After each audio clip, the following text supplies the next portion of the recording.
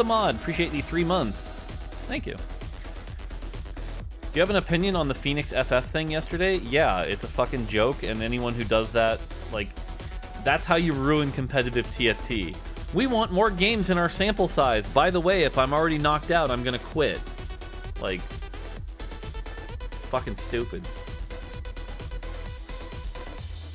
And that's why sometimes, I'll be honest, I hate dealing with the whiny little kids.